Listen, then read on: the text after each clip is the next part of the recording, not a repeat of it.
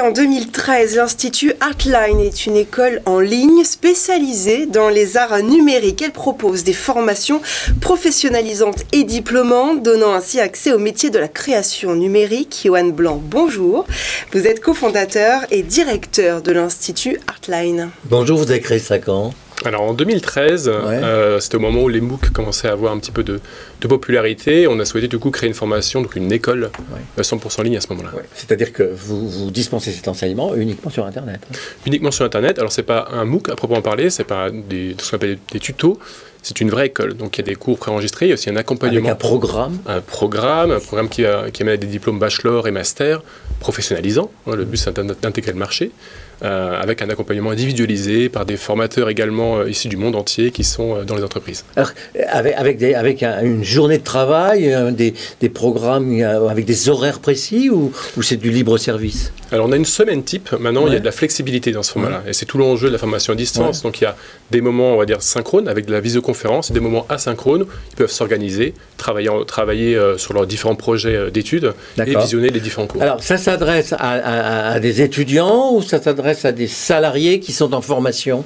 En l'occurrence, les deux. ça s'adresse à l'ensemble des, profils qui ont plus de 16 ans. Euh, mhm. Ça peut être très bien des euh, jeunes euh, lycéens, ça peut être des étudiants, ça peut être des personnes en reconversion professionnelle. Donc ça, s'adresse à un public assez large, oui. Et, et, alors on apprend quoi très précisément? Parce que je vois l'animation 3D, c'est des jeux vidéo, quoi. Alors, jeux vidéo. J'ai tendance hein oui, tout à fait. c'est jeux vidéo, ça, mais... effets spéciaux. Donc, ça, la création numérique, c'est un métier assez, assez euh, récent qui se développe, qui continue encore à, avoir un impact assez fort. Typiquement, on peut être amené à travailler sur de la série d'animation, mhm. sur des effets spéciaux. Je pense à mon premier étudiant qui était diplômé, qui a travaillé après avoir étudié à La Réunion. Il a travaillé sur le Roi Lion, à Londres, en mhm. l'occurrence. Donc, voilà, il y a différents types de métiers pour travailler sur son, cette Mais il faut être très équipé pour suivre cet enseignement, parce que ça nécessite quand même des ordinateurs euh, assez sophistiqués, non? Alors, il faut une certaine puissance. Ça va dépendre du secteur précis. Après, nous aussi, on accompagne à travers des. Vous pouvez les aider, là, dans les équipements? Alors sur certains secteurs, typiquement sur l'animation, on met à disposition des, euh, ce qu'on appelle des render farms, c'est-à-dire des, ordinateurs de calcul pour calculer ces images sur, euh, sur de l'image arrêtée. Donc euh, ça va dépendre des secteurs professionnels. Sur le design graphique, on a moins d'enjeux de puissance, donc on adapte aussi le besoin en fonction de, des secteurs.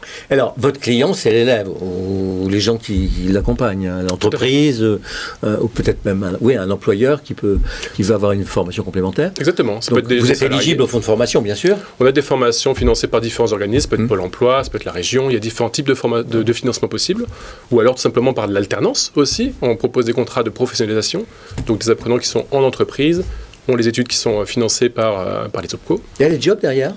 Bien sûr, d'autant plus maintenant avec, le contexte. C'est un métier en tension C'est un métier qui se développe beaucoup. Alors, il y a des métiers particulièrement en tension, euh, sur lesquels notamment on s'est investi il y a peu à travers euh, la, création d'un cursus qu'on appelle expert technique en création numérique, où il y a effectivement de la, de tension dans ce. Mais c'est comme la musique, au départ, il faut, faut apprendre le développement, non? Il faut, apprendre à coder. Alors pas nécessairement. Non? Non, fait c'est assez large. Il y a des métiers qui sont beaucoup plus artistiques. C'est difficile de faire de la musique sans connaître le solfège. Hein. C'est vrai. Il y a des métiers plus techniques, des métiers plus mmh. créatifs, des métiers mmh. plus euh, sensibles de l'écriture. En fait, il n'y a, pas tant, tant, que ça un, on va dire une voie précise, mmh. une voie tracée. Donc on fait appel à des, des, profils variables parce que les métiers sont très très différents. Bah oui. Le module de formation, ça dure combien de temps? Alors, on est sur des formations dites longues, de, 3 à 5 ans. Ah oui. Et c'est découpé en modules de 6 semaines. Et, donc, euh, c'est quoi le prix à peu près? C'est le prix d'une école euh, euh, privée professionnelle habituelle? En l'occurrence, on est entre 30 et 50% moins cher du marché. Puisque, puisque c'est en, en, présence, c'est en, digital. Et on est à peu près dans, aux alentours de 5 000 euros l'année. Ça s'appelle Institut Artline. Exactement, Institut Artline. On peut retrouver notre site à institutartline.com. Et c'est à Paris Vous êtes à Paris, vous On est partout, du coup. On est en ligne. Donc, pour le coup, on a des apprenants qui sont dans le monde entier. On a des mentors. Alors, le siège Mais social est, en français ou en anglais Actuellement, en français. Euh, on, a un programme de développement en anglophone qui va arriver, on l'espère, dans l'année ou l'année prochaine. Mais actuellement, c'est uniquement pour euh, un public francophone. Merci beaucoup. Merci, à vous. Merci beaucoup, Johan Blanc. Je le rappelle, vous êtes cofondateur et directeur de l'Institut Artline.